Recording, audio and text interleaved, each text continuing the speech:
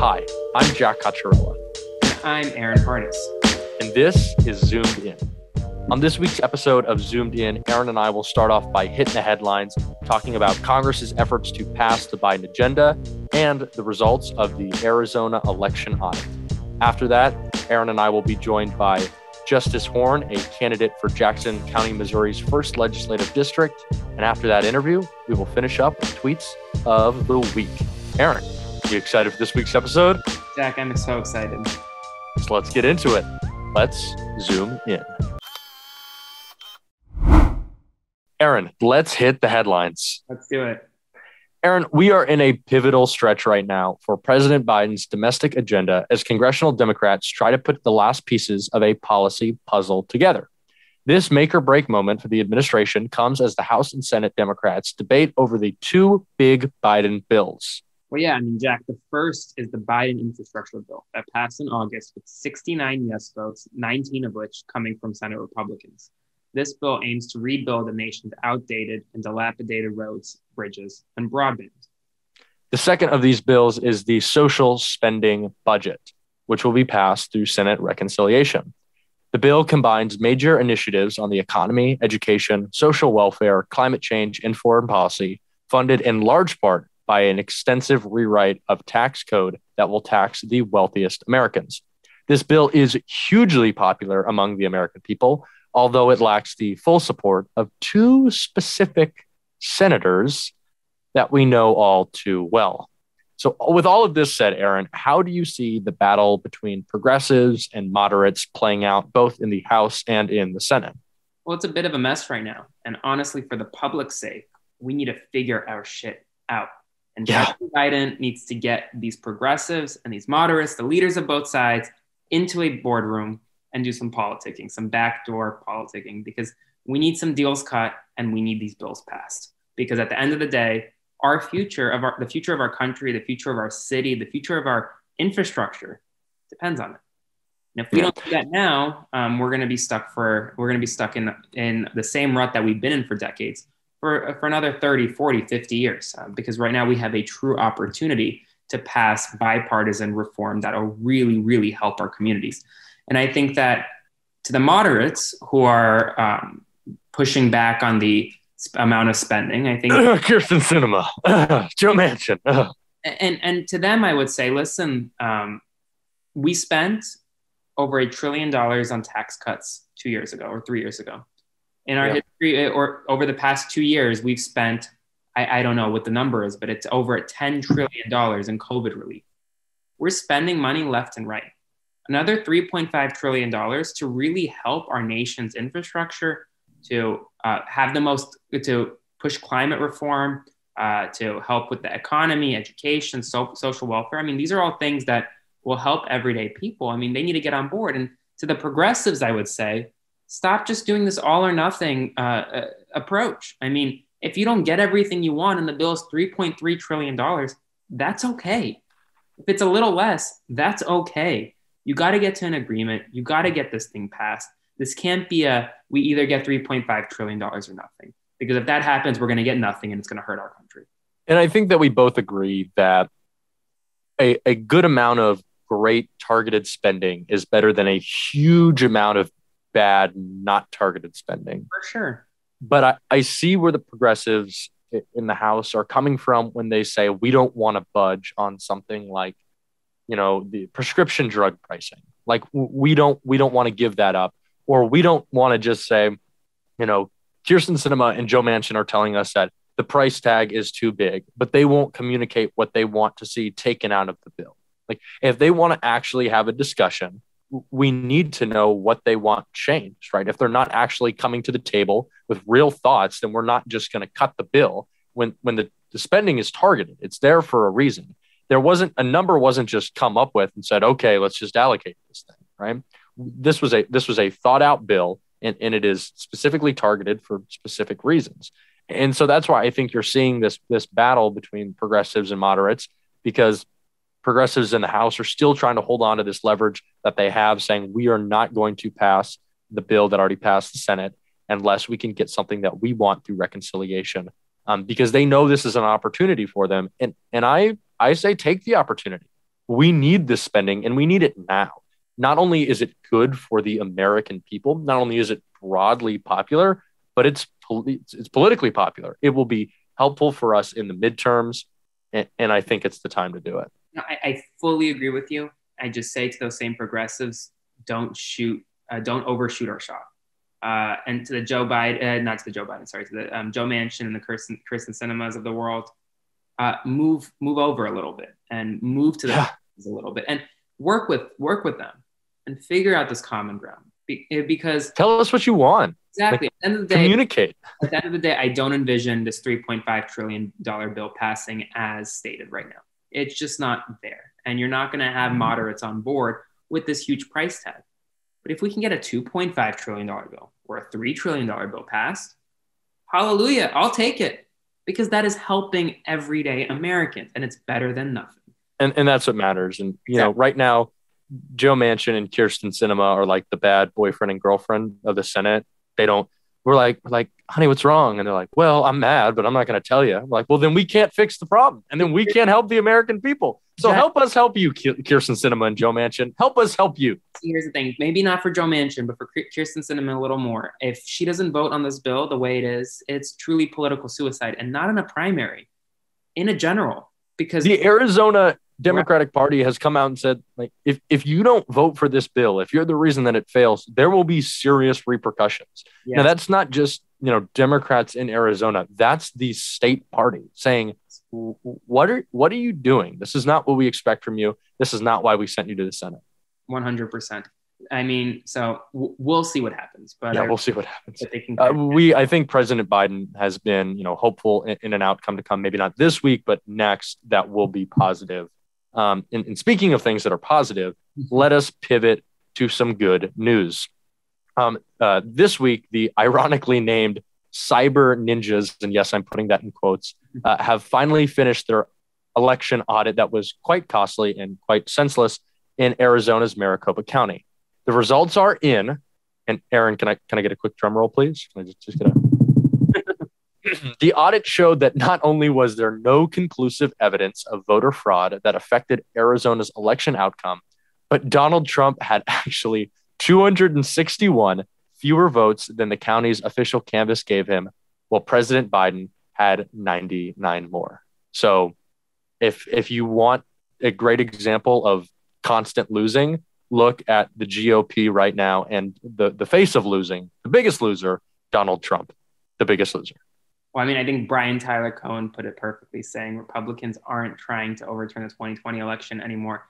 They're trying to set the stage to make it easier to do so in 2022 and beyond. I mean, it it's really scary that we live in a country that this cyber random group called cyber ninjas was allowed to get into our voting machines that had never done an election audit before Correct. like they were they were noobs to this the cyber ninjas and, and, they were able to see who voted for who or get personal information i mean republicans preach privacy and data privacy and they're so scared of big government but then uh, they, they let cyber ninjas, this random group, just come in and take all this voter data, all these social security numbers, addresses, everything. And spend a bunch of money on it too. Spend a bunch of money on it. I mean, Republicans are the kings and queens of spending money unnecessarily, whether it's in California for $300 trillion or not, yep. dollars on a recall that didn't work, or in Arizona um, on this stupid audit, which they're calling for audits across the country now. You know, I say, go ahead, audit Wyoming, audit Idaho, audit uh, Montana, audit all of these states that Trump won by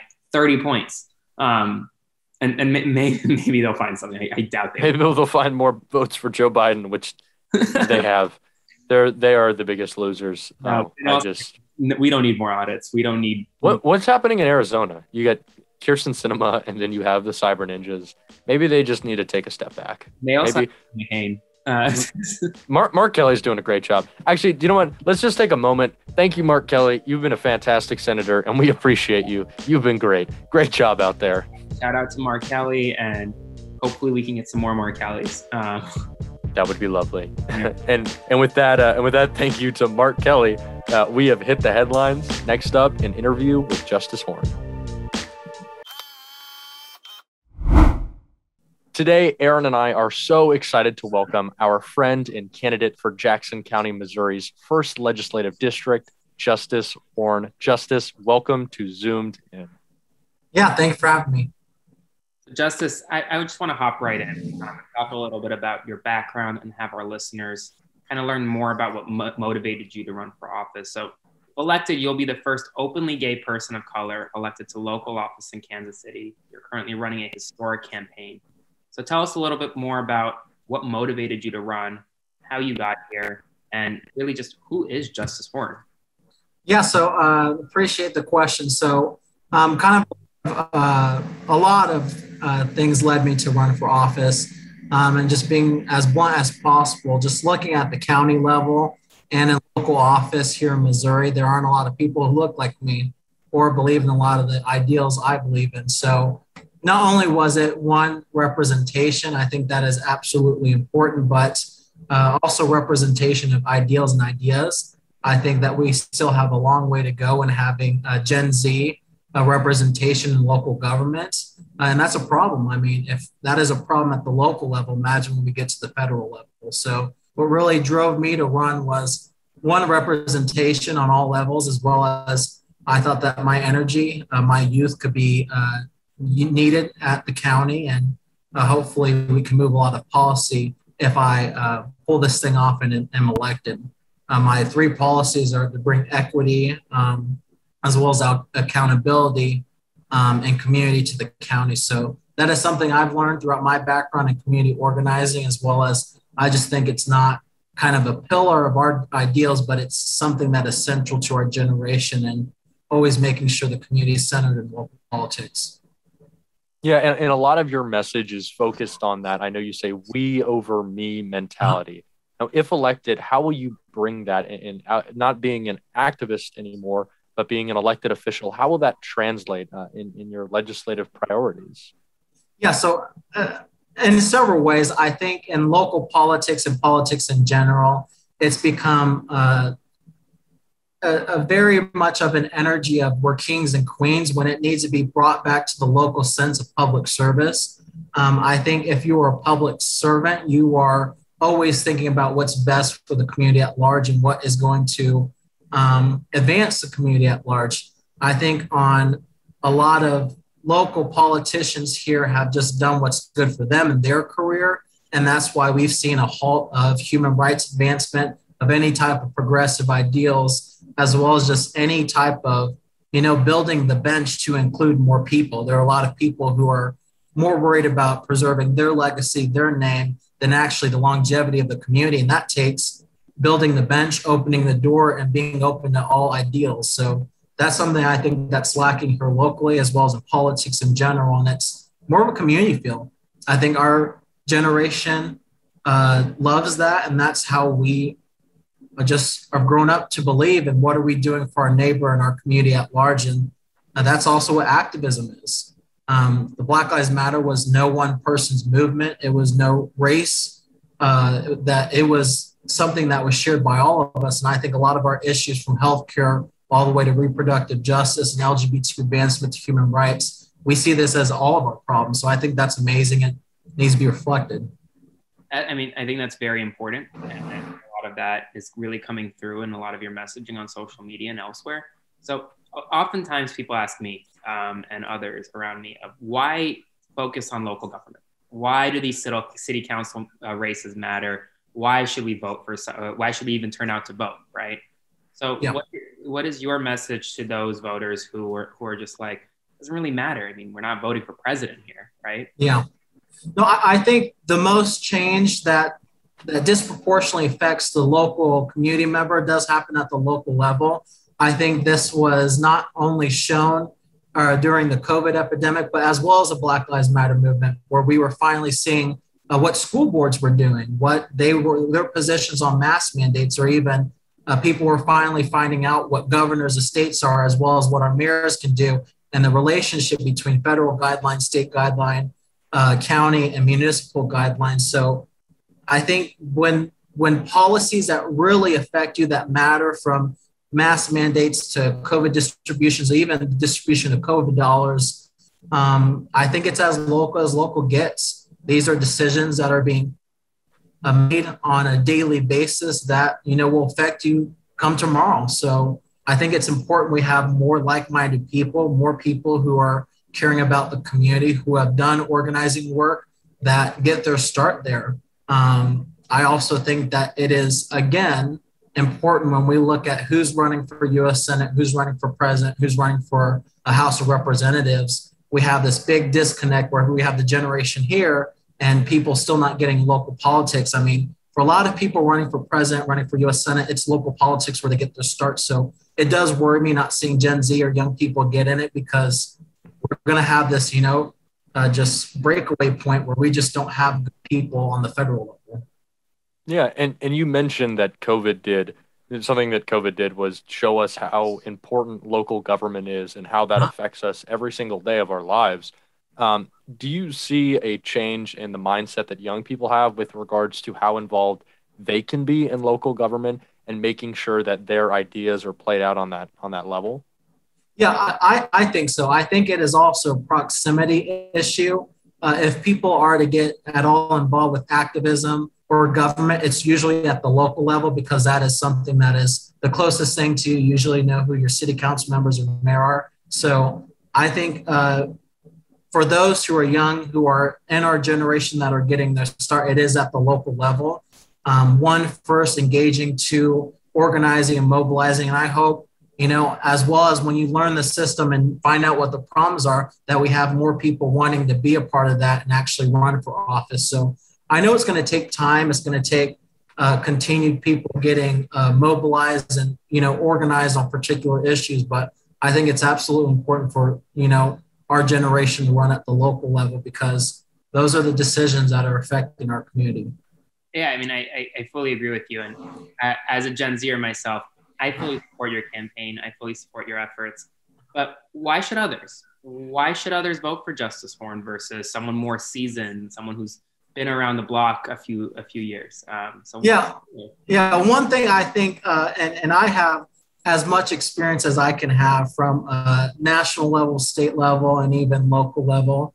Um, I think one thing you can't teach is tenacity as well as energy. Mm. A lot of respect for um, our former legislators and current legislators and people who are retiring after, after a long line of service. But one thing I think our county needs is a jumpstart and an energy with not only getting after it, but also taking on big policies like the climate crisis, taking on institutionalized racism in our detention center, and even all the way down to the tax code, how that can lock out people and, and you know be a real injustice to a lot of people. So I think, yeah, we have a lot of these issues that are on our plate, but I think it's going to take the youth and a lot of energy to finally tackle things like racism, things like bigotry, things like uh, xenophobia, and so on and so forth. Things that we have just let simmer for too long.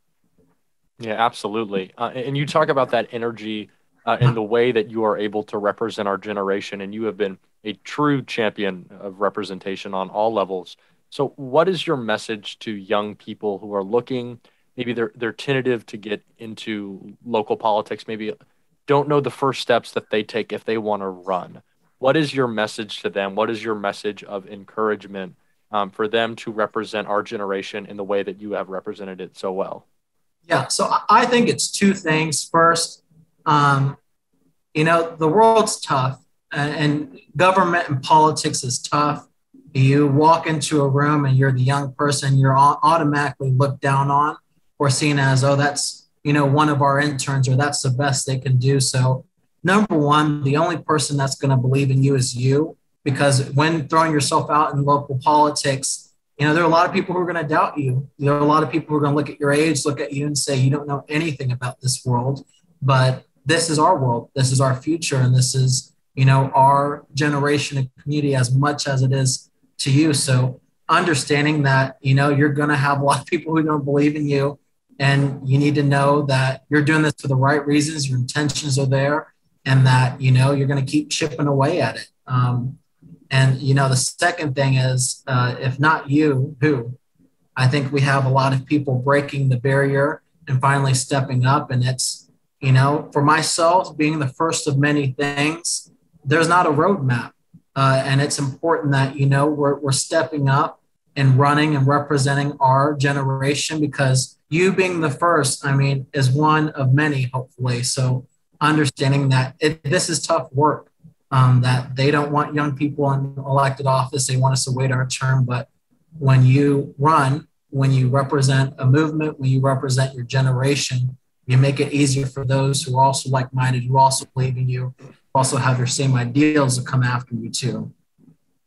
That's I agree. And yeah, we, we don't have that much time to wait. It, you know, you talk about people saying, wait your turn. It's like, you know, how much time do we have left? You know, we have yeah. these existential threats to yeah. our future. And if we don't act now, then who will act for us? I completely agree.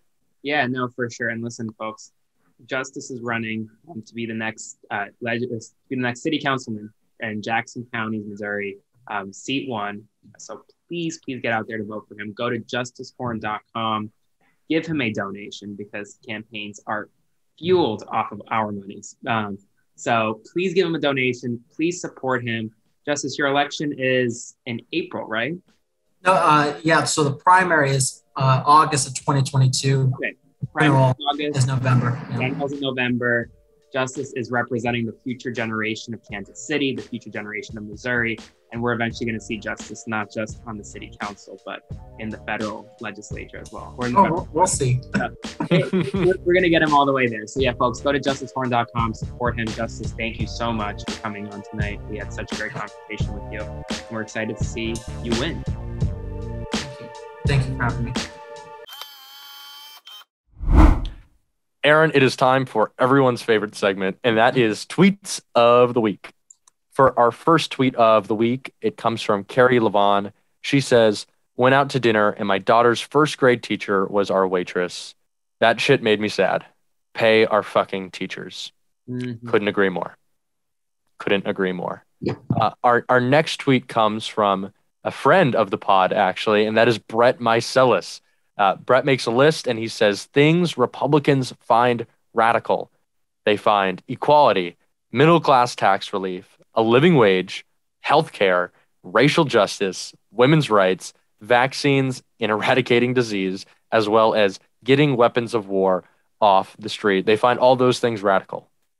Um, yeah, that tells you everything that you need to know about the current Republican Party. I don't, I don't know what more we can say about that. Yep. Um, and our final tweet of the week comes from The Onion. Uh, now, I'm, I'm going to preface this by saying if you haven't seen this news, um, this week, 88 year old Iowa Senator Chuck Grassley announced that he will be seeking an eighth term in the Senate. Uh, he is currently 88 years old. Uh, when he was born, FDR was president.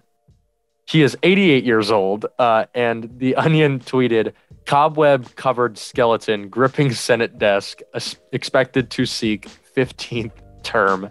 Uh, and they actually they tagged Chuck Grassley in the tweet. Um, so I, I, I, don't even think that's parody anymore. I think that's true. I think that's a reality that we may see in, in the near future from Chuck Grassley. That's wild.